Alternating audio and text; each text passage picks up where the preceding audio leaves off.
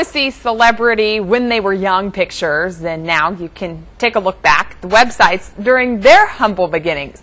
KXLY 4's Colleen O'Brien is here now to show us this fun cool click. Yeah, it's very fun Friday cool click, at least for us web junkies. It's, it's very interesting to look back at websites when they were born, especially in today's times where graphics, they're looking more and more real life on the computer. So we're going to take a look back at the Wayback Machine. It's from archive.org and basically you can type in any website and it has an archive of when that website was born and then how it was updated every month since its beginning. So we're going to start with, uh, we're going to do four popular websites. The first one is eBay. So take a look at eBay when uh, it was born. You can see not too many graphics, very simplistic. And then eBay today, a little bit of an update, a little more content on there. They've really expanded their brand. Okay, the next one is MSN. This is a popular website, often people's homepage.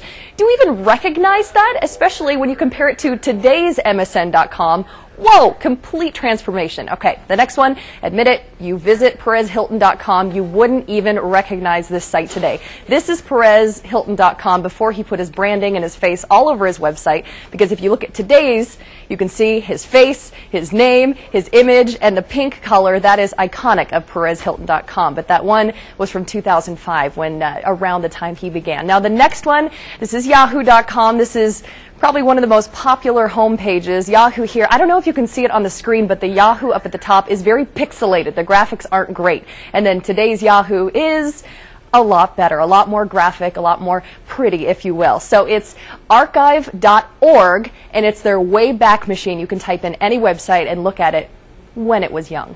Kalai. I like it. Thanks, Colleen. Yep.